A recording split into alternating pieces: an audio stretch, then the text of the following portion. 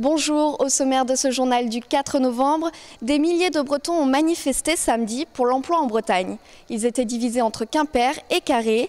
Nous vous ferons aussi découvrir un lieu automnal, les cidreries.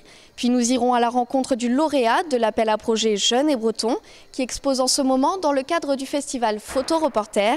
Puis nous terminerons sur une page sport avec notamment du volet et du ring hockey.